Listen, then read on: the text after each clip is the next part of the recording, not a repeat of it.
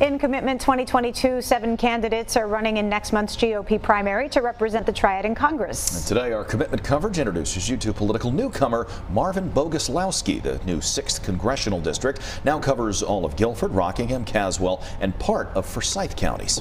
As WXII 12's Bill O'Neill explains, Boguslawski believes he's the man to get things done in Washington. Marvin Boguslawski says that he hopes to bring the success he's had in the corporate world to Washington. So why? Why are you running for Congress? So two things. One is I'm a single dad and my daughter's in college now, a freshman, so I have some free time available. Free time isn't the only thing that Boguslawski says he has to offer. The Jamestown Republican says that his background in engineering makes him an ideal candidate. But we need more engineers there, people who solve problems. And you know, my specialty is eliminating waste. And if you look at Congress, you know, $30 trillion, we're $30 trillion in debt. Uh, we need some serious waste reduction. Give me some idea of what you could do uh, to save uh, some of that waste in Washington.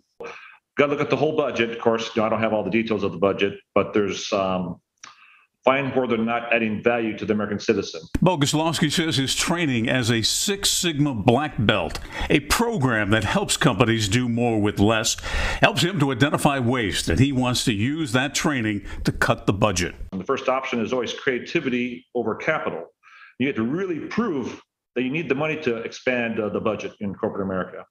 So that same mindset needs to be applied to Washington. There is an effort in a number of states to legalize marijuana I'm wondering if you would support the idea or not of uh, the federal government legalizing it across the country.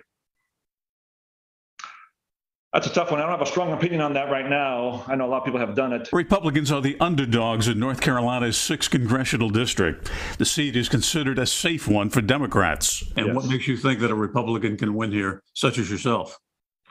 Yeah, so I think the people are tired of the um,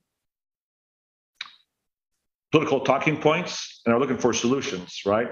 We're vastly devoid of solutions from both parties, right? So I know there's a lot of frustration going on right now. You- How do you like your chances in this primary?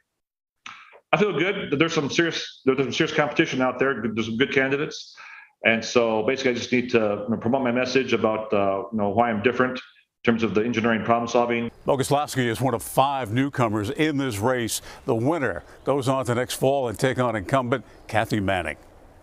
Bill O'Neill, WXII 12 News.